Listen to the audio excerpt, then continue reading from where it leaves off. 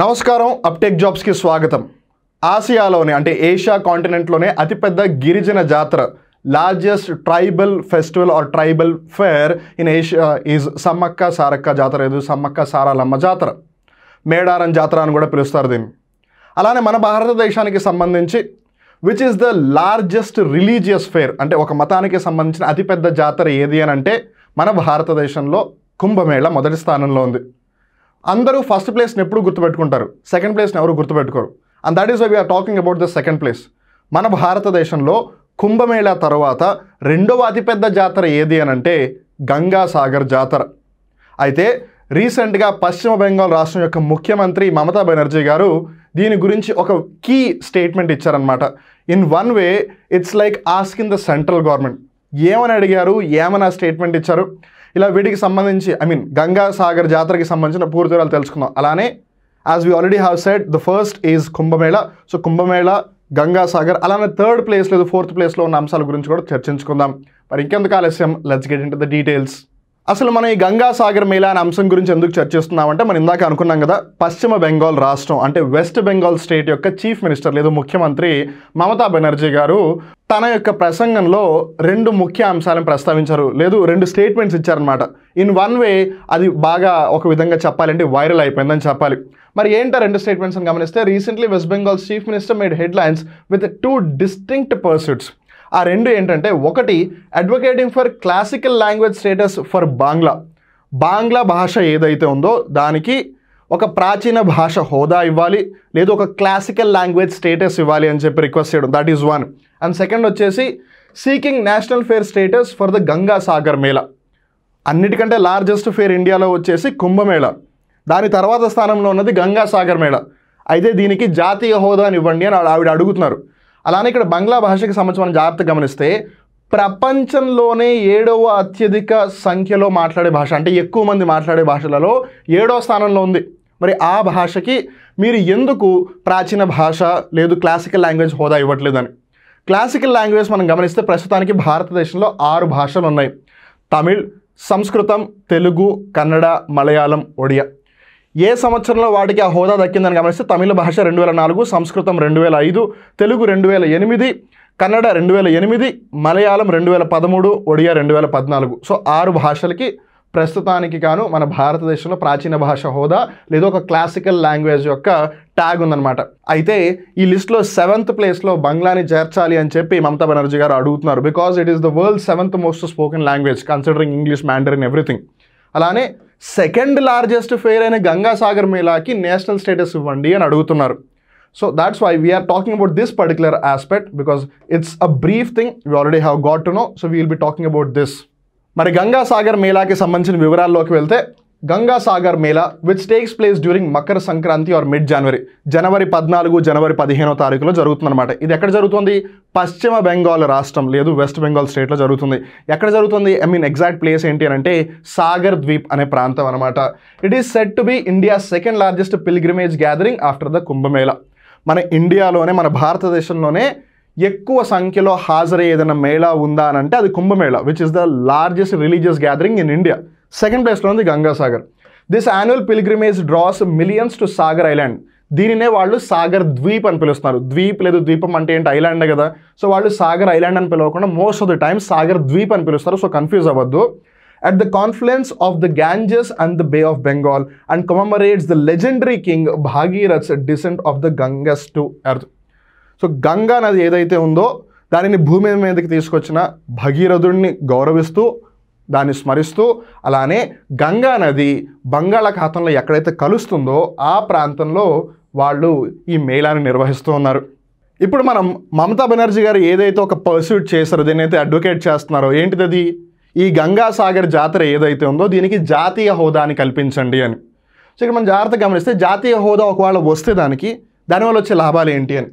Elevating the mela to national status would bring increased central funding obviously ఇప్పుడు జాతీయ హోదా దక్కించుకున్న ఒక జాతర లేదా ఒక అంశం అవుతుంది కాబట్టి కేంద్ర ప్రభుత్వం దానికంటూ కొన్ని నిధులు ఇస్తుంది. సో ప్రస్తుతానికి అది ఓన్లీ రాష్ట్ర ప్రభుత్వం మటుకే చేపడుతున్న ఒక జాతర. ఎప్పుడైతే సెంట్రల్ గవర్నమెంట్ దాన్ని నేషనల్ స్టేటస్ ఇచ్చేస్తుందో అప్పుడు సెంట్రల్ గవర్నమెంట్ దాన్ని ప్రిజర్వ్ చేయడానికి ప్రొటెక్ట్ చేయడానికి as a part of the cultural or rich heritage వారసత్వ సంపద కింద పరిగణిస్తూ దానికి ఎక్కువగా ఫండ్స్ వస్తున్నాయి.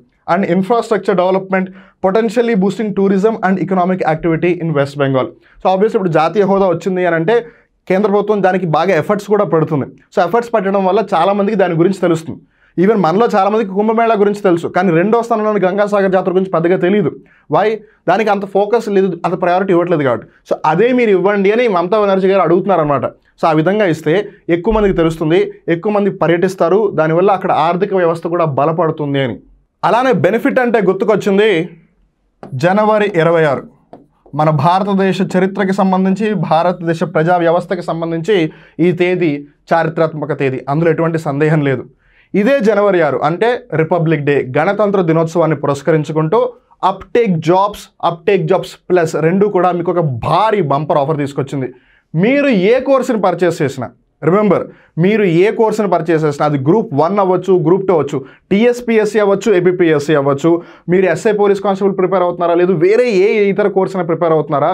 అప్టేక్ జాబ్స్ యాప్లోనైనా సరే అప్టేక్ జాబ్స్ ప్లస్ యాప్లోనైనా సరే ఒక పూర్తి సంవత్సరం పాటు మీకు ఈ కోర్సు వెయ్యి రూపాయలకే లభిస్తుంది. రిమెంబర్ ఒక పూర్తి సంవత్సరం మూడు వందల అరవై ఐదు రోజుల పాటు మీకు చూడడానికి వీడియోలు లభిస్తాయి. ఆ అంశాలకి సంబంధించి అంటే ఆ టాపిక్స్కి సంబంధించిన స్టడీ మెటీరియల్ కూడా ఉంటుంది. అది కూడా చాప్టర్ వైజ్గా. అలానే ఆ చాప్టర్కి సంబంధించిన చాప్టర్ వైజ్ టెస్టులు ఉంటాయి. సో దట్ మీరు చాప్టర్కి సంబంధించిన వీడియో చూసారు దానికి సంబంధించిన నోట్స్ చదువుకున్నారు లేదు నోట్స్ చదువుకున్నారు వీడియో చూసారు మిమ్మల్ని మీరు టెస్ట్ చేసుకోవడానికి ఆ టెస్ట్లు రాస్తారు. టెస్ట్లు రాసిన తర్వాత ఏ క్వశ్చన్కి కరెక్ట్ ఆన్సర్ నేను ఎలా పెట్టాను లేదు లాజిక్ కరెక్ట్గానే ఆలోచించానా లేదు ఒక క్వశ్చన్కి సంబంధించి ఎందుకు కరెక్ట్ ఆన్సర్ అయింది లేదు దాని ఆన్సర్ నాకు తెలియాలి ఇలా మీరు ఏమైనా అనుకుంటే కనుక దానికి సంబంధించిన టెస్ట్ విత్ ఎక్స్ప్లెనేషన్ కూడా ఉంటుంది. ఇలా ఈ కన్సాలిడేటెడ్ కాంప్రిహెన్సివ్ ప్రిపరేషన్ ఆప్షన్ని మీకు అప్టేక్ జాబ్స్ ప్రొవైడ్ చేస్తోంది. ఒక పూర్తి సంవత్సర కాలం పాటు అది వెయ్యి రూపాయలకే. అండ్ రిమెంబర్ ఈ ఆఫర్ కేవలం జనవరి ఇరవై ఆరో తారీఖున మటుకే ఉంటుంది. So get ready. Uptake jobs app అలానే అప్టేక్ జాబ్స్ ప్లస్ యాప్ రెండిట్లో కూడా మీకు ఈ ఆఫర్ ఉంటుంది. కాకపోతే మేజర్ డిఫరెన్స్ ఏంటి అని అంటే అప్టేక్ జాబ్స్లో మీకు టెస్ట్ విత్ ఎక్స్ప్లెనేషన్ ఉంటుంది. అప్టేక్ జాబ్స్ ప్లస్ యాప్లో మీకు టెస్ట్ విత్ ఎక్స్ప్లెనేషన్ ఉండదు. I hope now you are getting which one to purchase మళ్ళీ చెప్తాను అప్టేక్ జాబ్స్లో మీకు వీడియోలు స్టడీ మెటీరియల్ టెస్ట్లు వాటికి సంబంధించిన ఎక్స్ప్లెనేషన్ కూడా ఉంటుంది. వేరే అప్టెక్ జాబ్స్ ప్లస్లో వీడియోలు స్టడీ మెటీరియల్ టెస్ట్లు మట్టుగా ఉంటాయి. టెస్ట్ విత్ ఎక్స్ప్లెనేషన్ ఉండదు. But both are for thousand rupees and both are for one entire year ఒక పూర్తి సంవత్సర కాలం పాటు. సో ఎగ్జామ్ ఎప్పుడైనా జరగనివ్వండి. మీ ప్రిపరేషన్కి మటుకు ఎటువంటి దోహక ఉండదు. సో అందుకని ఈ అందువచ్చిన అవకాశాన్ని మీరు అందరూ ఉపయోగించుకుంటారు అనుకుంటూ ఈ రిపబ్లిక్ డే రోజు మీరు ఒక మంచి నిర్ణయం తీసుకుని మీ జీవితానికి సంబంధించి ఒక ముందడుగు వేస్తారని ఆశిస్తూ Uptake Jobs Uptake Jobs Plus ఈ ఆఫర్ మీ ముందుకు తీసుకొచ్చింది. So wishing everyone all the very best now let's get into the details back again మరి గంగాసాగర్ మేళా గురించి ఎలాగో చర్చించుకున్నాం కాబట్టి నెంబర్ టూ గురించి చర్చించుకున్నాం అంటే నెంబర్ వన్ త్రీ ఫోర్ వాటి గురించి చర్చించుకోవడం కూడా కొంచెం బెటర్ కదా. అలా మరి భారతదేశంలోని ఇతర మేళాలు ఏమున్నాయని గమనిస్తే ముందుగా Kumbh Mela the number one position it is celebrated four times every twelve years అంటే ప్రతి పన్నెండు సంవత్సరాలలో నాలుగు సార్లు జరుపుతూ ఉంటారు. అంటే త్రీ ఇయర్స్కి ఒకసారి అనమాట the site of the observation rotating between four pilgrimages on the four sacred rivers at Allahabad Haridwar Ujjain Nashik అలహాబాద్ని ఇప్పుడు ప్రయాగ్రాజ్ అని పిలుస్తున్నారు. సో ప్రయాగ్రాజు హరిద్వారు ఉజ్జయిన్ నాసిక్ ఈ నాలుగు నగరాలలో లేదు ఈ నాలుగు ప్రాంతాలలో కూడా ఈ కుంభమేళా అనేది జరుగుతుంది. మళ్ళీ ఈ కుంభమేళా ఒకటే కాదండోయ్ అర్ధ కుంభమేళ మహాకుంభమేళ అని వివిధ కుంభమేళాలు ఉన్నాయి. ఈ నార్మల్ లేదు రెగ్యులర్ కుంభమేళా వచ్చేసి ప్రతి పన్నెండు సంవత్సరాలలో మూడు సంవత్సరాల చొప్పున నాలుగు సార్లు జరుగుతుంది. అంటే ఒకసారి ప్రయాగరాజ్లో జరిగితే ఇంకోసారి హరిద్వార్ ఇంకోసారి ఉజ్జయిన్ ఇంకోసారి నాసిక్ అలా. అలానే అర్ధ కుంభమేళ అర్ధ అంటే హాఫ్ ఇది ఎప్పుడు జరుగుతుందంటే it is held at only two places Haridwar and Allahabad లేదు ప్రయాగ్రాజ్ ఎవ్రీ సిక్స్త్ ఇయర్ అంటే ప్రతి ఆరు సంవత్సరాలకి ఒకసారి హరిద్వార్లో జరిగితే ఇంకోసారి ప్రయాగ్రాజ్లో జరుగుతుంది అనమాట ఈ అర్ధ కుంభమేళ. సో అర్ధ కుంభమేళ ఎక్కడ జరగదు? ఉజ్జయిన్ నాసిక్లో జరగదు. అలానే then comes Maha Kumbh Mela which is held after every one forty four years ప్రతి నూట నలభై నాలుగు సంవత్సరాలకి గాను ఒకసారి జరుగుతుంది ఈ Maha Kumbh Mela.